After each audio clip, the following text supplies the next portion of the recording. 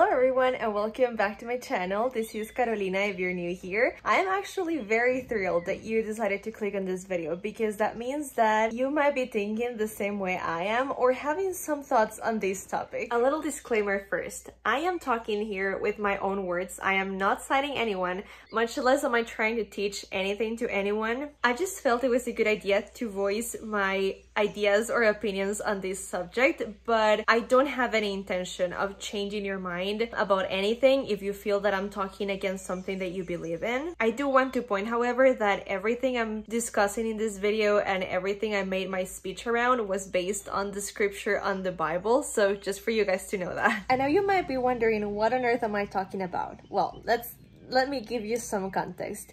Um, a few months ago, I think I uploaded a vlog for Christmas and I guess I showed you guys that I was reading Harry Potter. So I got the comment on the video from one of y'all saying like, oh, I love your video and I love watching your blogs, blah, blah, blah. And then she just typed something like, I'm so sorry to see that you're reading Harry Potter. Like, that's witchcraft, right?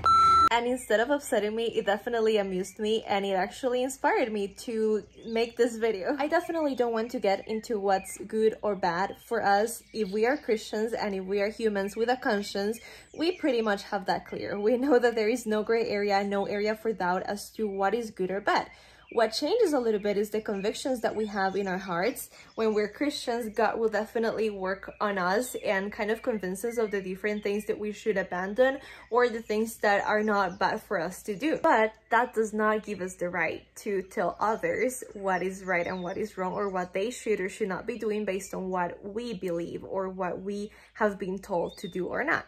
And one of these days, I was reading Mark chapter 14, I think it was verses 1 to 9, where it talks about the story of this woman that comes to Jesus and anoints his head with a very pricey and precious oil. And get this, the disciples, I mean the people that were following Jesus, started judging her on her actions. They started saying that it was wasteful, that it was unwise, almost making it sound like her service to Jesus was kind of a sin or something that she should have thought better about. Unfortunately, this is something that I've been seeing a lot in the Christian society that we live in nowadays. Brother judging brother. But on what grounds? Who are we to say that we are right about something and the other person isn't? And guys, Jesus expanded so much on this on the Gospels because he knows who we are and he knows what we do. So he made sure to give us a lot of references as to not to do this.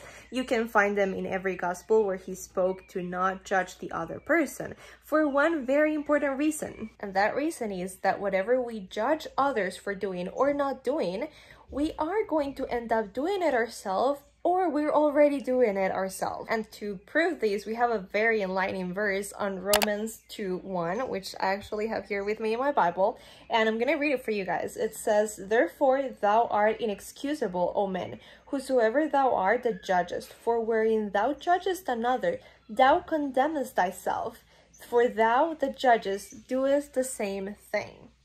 So if that's not clear enough, I don't know what is. And if that's not clear enough for us to understand how useless and unnecessary it is for us to pass judgment on others, I have another verse in which it makes it even clearer. And this one you can find it in James 4.12. And it reads as follows. There is one lawgiver who is able to save and to destroy.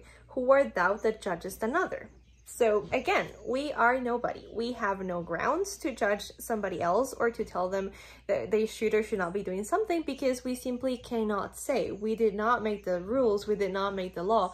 God is the one who judges we just fall really short of his measure. There is this one story or comparison that I read in one of the books from Max Lucado.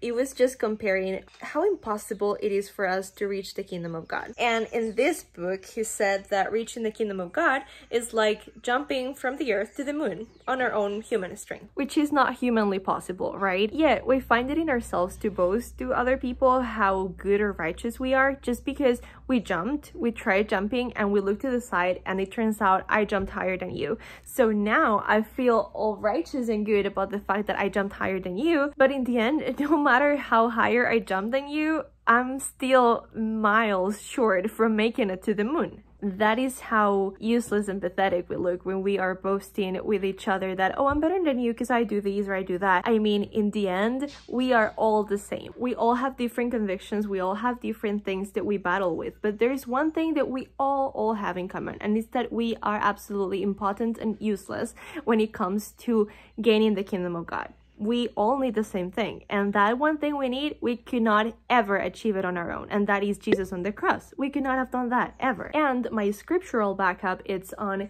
Ephesians 2 9. I'm gonna look for it and I'm gonna read it for you guys. Mm, oh, Ephesians 2 9 and it says, Not for works, lest any man should boast. There you go. Again, he specifically said that salvation was by grace and faith and not through works. Because if not they knew that we would be boasting about the fact that hey i jumped i was able to do it and you weren't. Anyway going back to the story of jesus with the woman and the oil right? Jesus obviously read these people's heart his disciples thoughts and he called them out on it. And he said something very precious. He said let her alone and I want to kind of piggyback off Jesus' words right here because I just think it is so sad how we are driving people away from God just because they do things that we ordinarily wouldn't or because they don't do things that we are used to doing in the end, Jesus is just looking at the intention. Jesus looks at the motivation, and that's something that as humans we cannot see in each other because we cannot read each other's heart. And yes, there are people doing things for the wrong intentions or wrong reasons, even good things. Having been one of them myself, there are people that go to church religiously,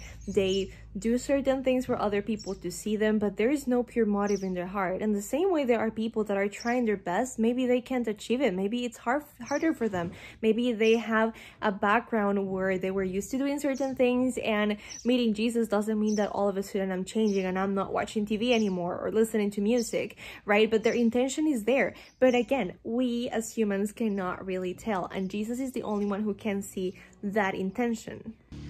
Simply put, we just can't know. And until Jesus comes here and brings us home and gives us a glorified body, we can only do the one thing he repeatedly told us to do, and that was love thy neighbor as thyself. And the whole subject of love thy neighbor is a whole big deal, but all in all is let it go and don't judge. Don't pass judgment on someone that you know nothing about. You don't know their convictions and you don't know their heart, much less do you know their motivations and intentions. I know this is a very broad subject, guys, and I could expand on it for days probably and bore you with a lot of talk. I feel like I did not even grow up in that strict of a church, and yet I am still very self-conscious about who I am and what I can do and what people will say if I do certain things, we have to realize that the bad stuff is coming from our old nature, the one that we cannot control, the one that, like it or not, sometimes is gonna slip through the crack. And I'm working on it, he is working on it in my life, and in each one of us who are trying our best to become who he made us to be. But there is nothing worse than feeling hunted or judged by others and feeling like we're not good enough and that we're not gonna get enough of his love or grace just because we do things differently or we are not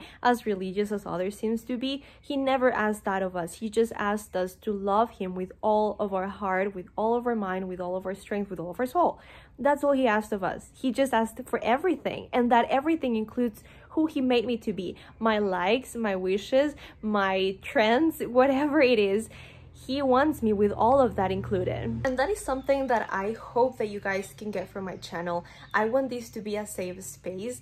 As I mentioned, I was amused by that comment that I got from that girl. And that's okay if she thinks or if some of y'all think that reading Harry Potter or reading any of my secular books is wrong. Well, that's up to you guys. That's not my conviction. And I have a lot of different convictions from you. But I just wanted to know that I'm okay with myself. I'm satisfied with who he made me. Do I have bottles? Yes, I do we all do, but he is slowly working that in my heart. And I know that he's working different things in yours. And I am prepared to accept you guys the way you are, leading you all to Jesus, because all in all, no prophecy of the scripture is of any private interpretation, as Second Peter says. So we cannot just take something from the scripture and make it say something different. And that's what I want here. I want to share with you guys the scripture, share what I learn every day from his word, in a safe space, not pointing fingers at anyone because the fact that you do something that I might not think is right doesn't make it wrong and vice versa. So that's pretty much the whole story in a nutshell, guys. I know it was a bit of a ramble. I know it was a little bit of a different type of sit down video because I was not able to find a freaking spot in my room to record this